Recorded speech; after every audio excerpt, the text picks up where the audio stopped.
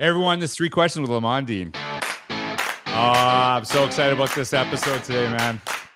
So excited. I I've actually had the pleasure to meet Lamond. Uh, I did a workshop recently with a group of administrators, board trustees, uh, just outside of Austin, Texas. And Lamond, uh, I met him there, and he not only did I meet him there, and he just totally impressed me with the work that he's doing at Chapel. I gotta, you know, I gotta do this in Chapel Hill ISD gotta give a little shout out to Chapel Hill, right? No doubt, no doubt.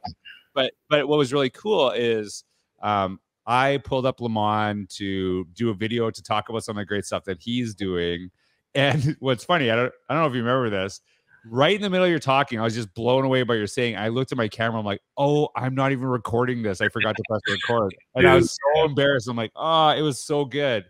But what what's beautiful is that um, basically right after Lamond started doing the same thing with his staff, with his community, with his students. So that's one of the things I love about social media is that we have these really incredible experiences um, on these days, but it's like not like summer camp when we were kids where we're like, hey, we'll be best friends and then we never see each other ever again. It's like we connect after the fact. So uh, Lamond is actually the superintendent in Chapel Hill ISD. Incredible educator, Lamond. Thanks so much for taking the time out of your busy day to to uh, join me today uh, George. Thank you for having me. It's truly an honor uh, to be here and also uh, speak a little bit about our district and some of the good things that we're doing. Yeah, and and we were we were just uh, sitting here before. I, always do this little kind of breakdown, um, just to kind of just chat, see some, you know, talk about, kind of get some ideas of where the podcast will go. And I'm telling you, Chapel Hill ISD, you're going to see some uh, you're going to learn some incredible lessons from Lamond and his community, just some of the stuff that they're doing. And also a little shout out to East Texas, right? Because we got to say East Texas, right? Right. Right. Real itself. So no doubt. right. And so, hey, Lamond, I know that you've been an educator for a while. You've been in Chapel Hill. You grew up there, uh, went away for a little bit, came back. So when you think about the incredible teachers that you've had, you know, in your career, uh, that you worked with, the ones that you had when you were a kid, who's a teacher that you think of who really inspired you and why? Well, you know, as I think about the teacher that inspired me, I go back to my uh, ninth grade English teacher. And, you know, I'll tell you a little story on why uh, she inspired me so much. Uh, she was always a person that tried to instill confidence in me. I was not a uh, high academia, if you will, was probably not the valedictorian salutatorian in class. Uh, came from humble beginnings and, uh, you know, from a single parent household. And my mom worked a lot.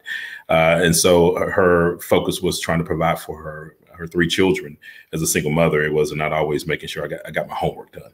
And so um, when I became a freshman, I was writing a paper. I remember this as if it was yesterday. This is probably one of the things that molded me as an educator.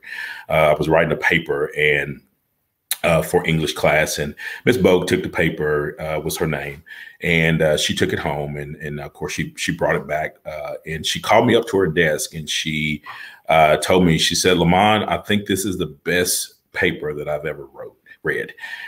And you know, me hearing that, even repeating the story, gives me chills just thinking about that. And as I reflect now, I quite sure it was not the best paper uh, that she has ever had ever read. But she put a lot of green marks on the paper and the green uh, there was no red there. Of course back in the day when teachers right. used to grade papers with red ink you would go through and you would kind of cringe to be able to see you think that it's death by paper because you see all the red ink and the blood on it.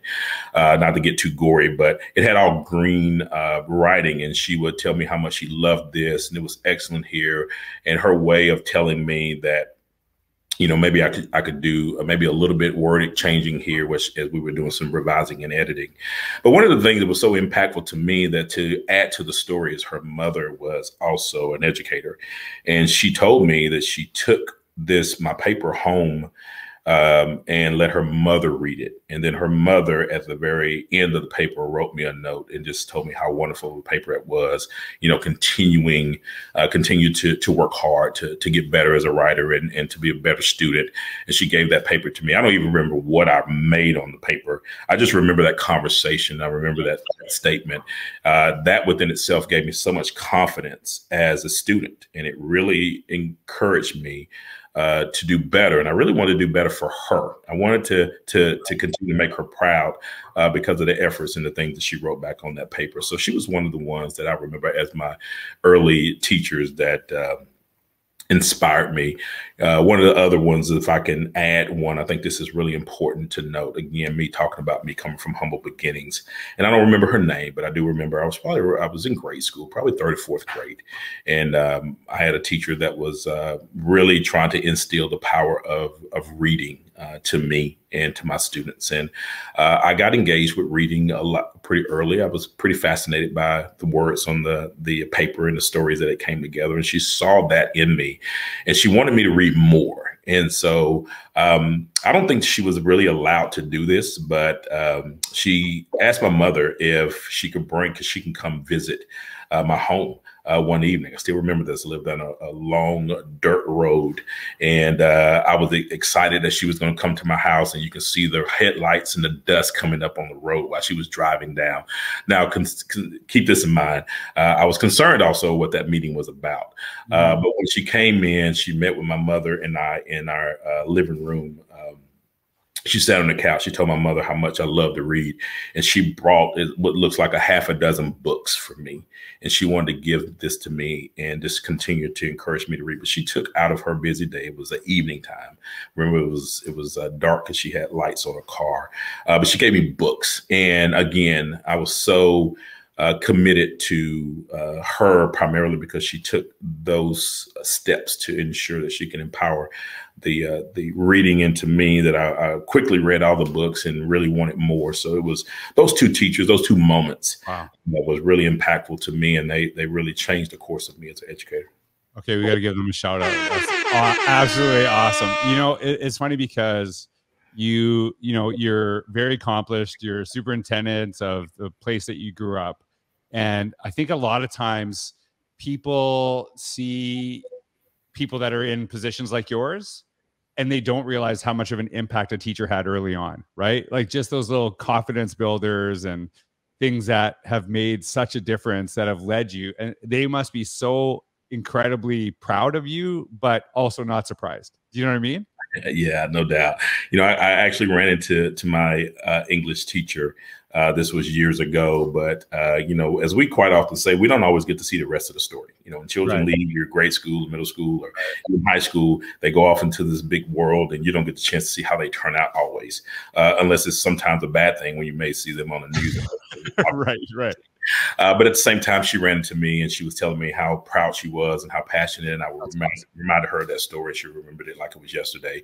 And so those types of stories, those types of things, is what has uh, shaped me as an educator. So hopefully, I'm able to pay that forward to the children. That, that gave me chills, man. That that was incredible. All right, so you are currently a superintendent. I know you've done a, a, a multitude of administrative jobs. Uh, uh also, has been a, an educator and a teacher as well. So you think about all the administrators you've worked with, maybe ones that you had as a kid. Like, who's an administrator that you had that really inspired you, or that you worked with, and, and why? You know, I, I worked with a lot of really good administrators, and one that has inspired me and just been, man, he'd been that guy for me. His name is uh, Jamie Holder. Uh, he was um, a former principal of mine when I was a coach uh, uh, at a neighboring district, Lindale um, ISD in, in, Lindale, Texas, just about a rock's throw. We call it that in East Texas. That's that East Texas right. link I told you about. That's East Texas. Uh, but he uh, he was very impactful. Man, he was just an awesome guy. Just um, really got to know him a lot. Uh, I was working with his children who were students and student athletes when I was a coach there in Lindale. Uh, but I remember one of the conversations that uh, he had with me. He was always encouraging, always inspiring. And I would tell you this to this day, he still is. He's a gentleman when I need a some some some guidance, some coaching, uh, even that father figure to lean on. Jamie Holder is the guy that I that I call. But he he told me this and I was at an impasse. I had got an opportunity to get out of coaching and get into administration, although I hadn't gone to school to be an administrator. I was going to be a coach forever. Uh, I love football and I love working with children, and and I was very passionate about that. And I see saw nothing other than what I was doing at the actual time. And so uh, I remember I, I went to him and I went to seek advice, and he gave me a statement, gave me a quote. I, I, live by quotes. Quotes to me are short stories, uh, just to kind of connect meaning to a lot of things we do. And he told me, you know, the higher up the flagpole you are, the more people you can help. And uh, that has stuck with me a long time. He told me primarily the student athletes that you're working with right now, you may hit 100, uh, maybe 200 or so student athletes. Uh, but if you get into administration, you're high up that flagpole, and now you get a chance to help a whole campus. Uh, and then I start to use that as it guided me throughout my professional career. Um, when I was a principal, again, fell in love with children.